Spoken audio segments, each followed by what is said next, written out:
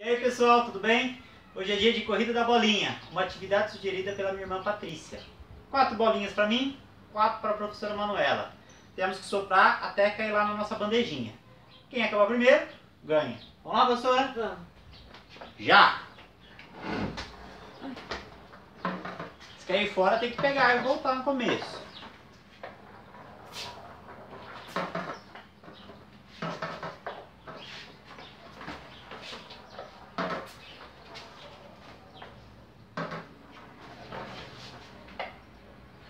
Ei, professora! Valeu! Valeu, pessoal! Boa brincadeira! Tchau, tchau!